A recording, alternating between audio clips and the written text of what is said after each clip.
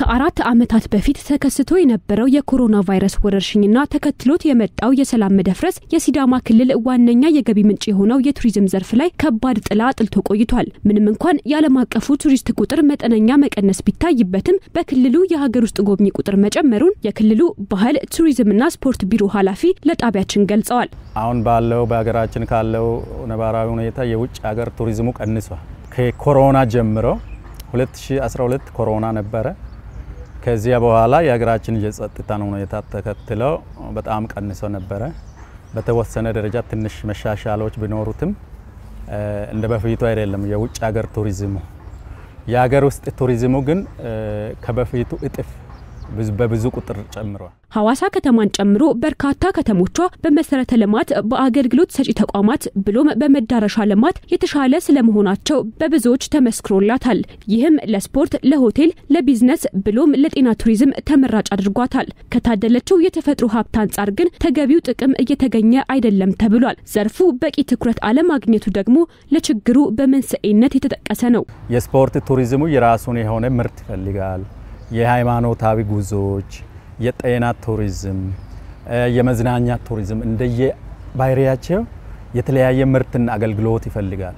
በኢትዮጵያ ውስጥ ቱሪዝሙ ከዚህ በፊት ትኩረት ሳይሰጠው ስለቆየ ይህንን በበቂ ሁኔታ ቱሪስቶች በሚፈልጉት ፈርጅ አደራጅተን አበቃቅተን አልጠበቅንም።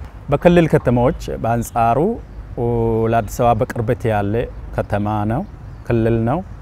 ከዚህ አኳያ ካለን ለገበያ ካለን መልካም አጋጣሚና ምቹ ሁኔታ በሲዳማ ክልል ደግሞ ካለው ለቱሪዝም ለቱሪዝም ያለው ሀብት አኳያ በቂ አይደለም። ከ2013 ወዲህ ወደ ክልሉ የሚያቀኑ ጎብኚዎች ቁጥር በ20 በመቶ እድገት እያስመዘገበ መሆኑን ቢሮ ገልጿል። በ2016 በጀት ዓመት 3 ሚሊዮን ገደማ ጎብኚዎች ክልሉን መጎብኘታቸው የተገለጸ ሲሆን ከዚህ ውስጥ 99 በመቶ የሀገር ውስጥ ጎብኚ ነው። 3 ቢሊዮን ብር ደግሞ የተገኘው ገቢ 3 ቢሊዮን የሚሆን ብር የሚሆን ገቢ ተገኝተዋል።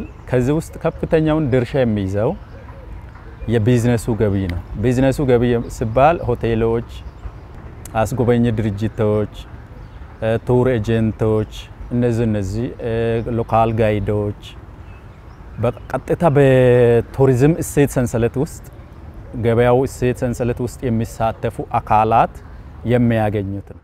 የውጭ ሀገር ጎብኚዎች ቁጥር መቀነስ የሚያሳድረውን ተጽዕኖ ማካካሻ መንገድ የሀገር ውስጥ ቱሪዝምን ማሳደግ መሆኑን የሚገልጸው ቢሮ ለዚህም የተለያዩ ስራዎችን ሲሰራ መቆየቱን ይናገራል። በአማካኝ ጎብኚዎች በክልሉ ሶስት ቀናት እንደሚቆዩ ከቢሮ የተገኘው መረጃ ያሳያል። ይህን የቆይታ ጊዜ ለማሳደግ ስራዎች እየተሰሩ ስለመሆናቸው ተነግሯል። በሀገራዊ ቱሪዝም ፍሰት ውስጥ ሶስት ቀን ይቆያሉ። በእኛ ክልል ቱሪስቶች በቱሪዝሙ ቱሪስት ብዙ ገቢ ወጪ እንዲያወጣና ረጅም ጊዜ እንዲቆይ ነው የሚፈለገው። እኛ ይህንን በጥፍ አሳድገን ወደ ሰባት ወደ ስድስት ቀን በእኛ ክልል ቱሪስቶች እንዲቆዩ ለማድረግ ከሀዋሳ ከተማ ወደ 90 ኪሎ ሜትር፣ 100 ኪሎ ሜትር፣ 130 ኪሎ ሜትር ላይ ያሉትን ቦታዎች በማልማት መዳረሻ ለማድረግ እየሰራን ነው ያለ ነው።